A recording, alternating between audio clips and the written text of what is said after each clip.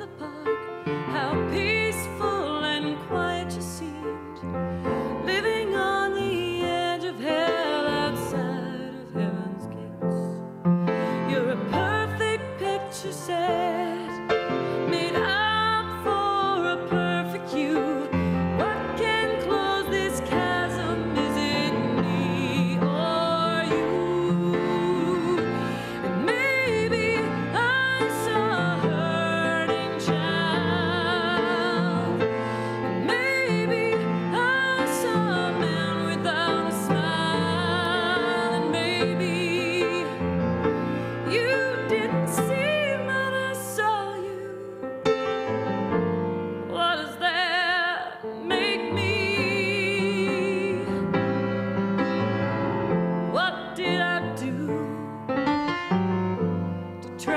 reach you.